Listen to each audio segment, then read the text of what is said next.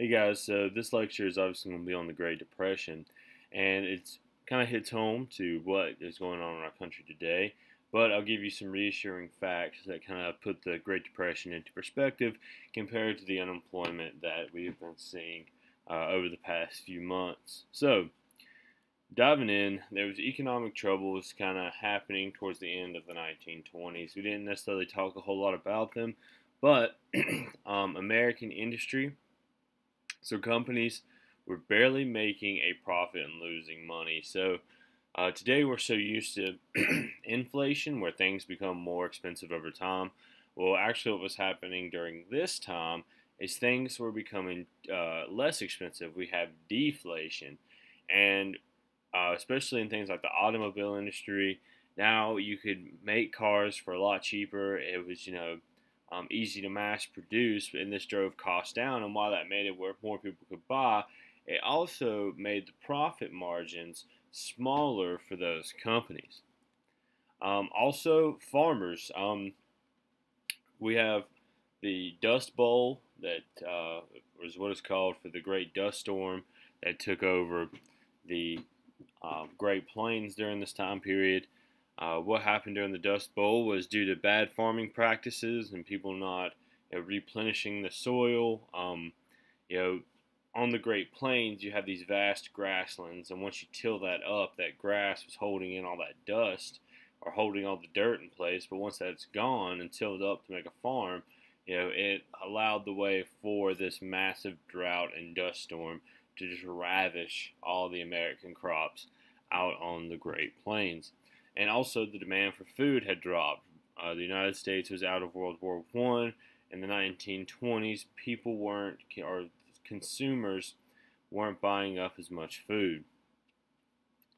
Also, we have issues with the banks. So, since the farmers were not making any money, the banks foreclosed on the farmers' land, leaving some homeless.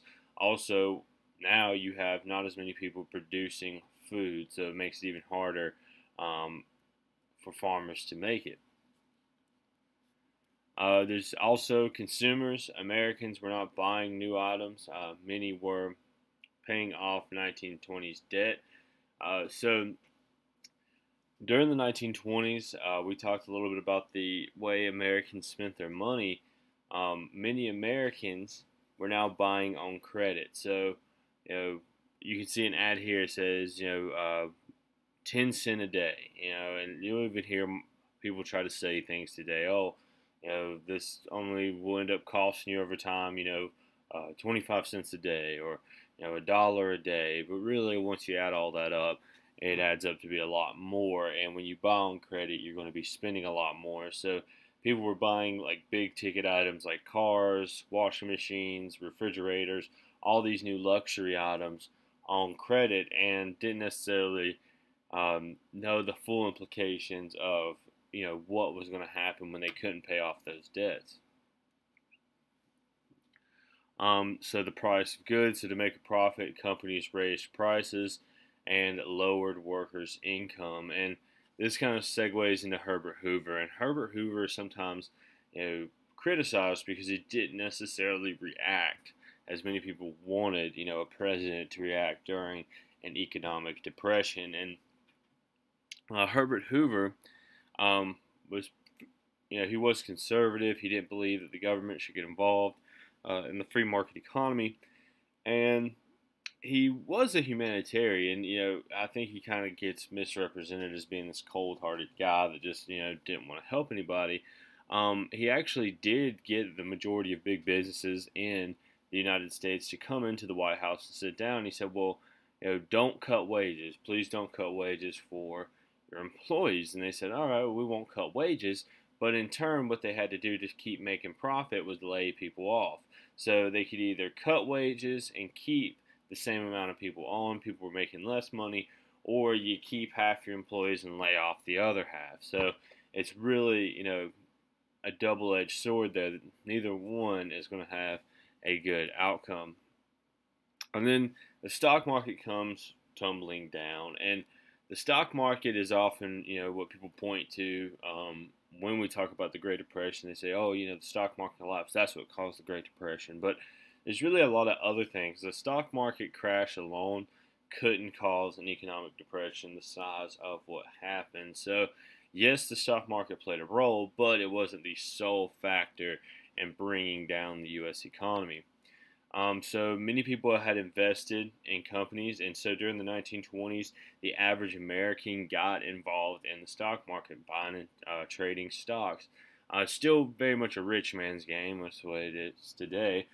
But um, many of these middle class people that were buying stocks were buying them on margin. So what that means is they were borrowing borrowing money to buy these stocks. And we've talked about this before. Um, when you buy a stock, you can say buy you know twenty dollar stock, and if that company goes out of business, well you lost your twenty dollars. But the problem is, is if you borrowed from your parents that twenty dollars and you've invested and that company goes under, um, you've lost your you know twenty dollars you invested, but you still now owe your parents twenty bucks. So it's really like you know losing forty dollars. So uh, you can't ever owe money into the stock market. You can only lose what you put in. But if you borrowed that money, you still have to pay that money back, even if your stocks collapse. And so the stock market on Black Tuesday, which is October 29th, 1929, uh, the stock market crashed, and this was the beginning of the Great Depression, and all the events that happened afterwards just pile on to the unfortunate things that happened.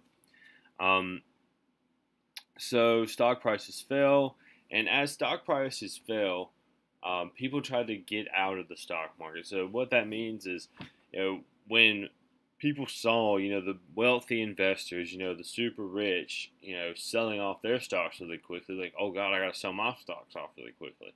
You know, we, we I don't want to get stuck with this worthless stock. You know, I want to get what I can for it right now, um, you know, to salvage some money. And it was so bad that they even had some people jump out the windows on Wall Street. Some of the big market guys who had, you know, just lost their entire fortunes. Um, you know, jumping out of windows. And if you see that, you know, if you're on, you know, trading stocks or you know, buying stocks and you see, hey, you know, this wealthy guy just, you know, jumped out a window due to the stock market crash. I mean, I got to start selling myself. That's obviously a sign that things are going downhill. And um, the Great Depression is marked as the worst economic time in American history. Uh, there was a pretty bad period in the 1830s with Andrew Jackson, but nonetheless, it's hard to compare, you know, a 1930s or 1830s uh, market economy to you know, the 1920s and 1930s.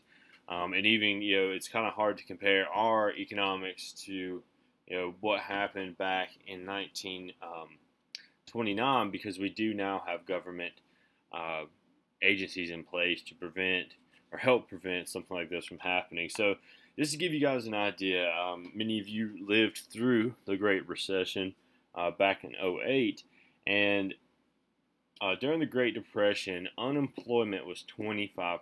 So, a quarter of Americans were out of work. And, you know, that unemployment rate doesn't include people who had to take part time jobs and they wanted a full time job. They don't get counted as being unemployed, or somebody that took a wage cut or is working a job, you know, below their skill level. So it hit, you know, well over a quarter of Americans, and it wasn't like, you know, with the recession, uh, I believe the highest unemployment got was a little bit over 10%.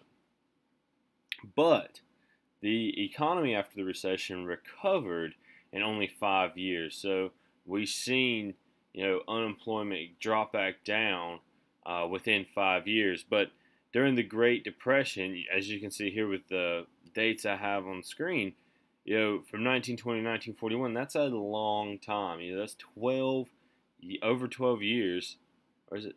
It's exactly 12 years of um, economic hardship in the United States. Is really um, a lot of people point to World War II is what brings the United States out of the Great Depression, but it really, the Great Depression is one of the major causes of World War II. We'll talk more about that later. Um, so, some of the main causes you have out of date equipment in many industries, economic problems for farmers, too much credit and debt, and too many people not working.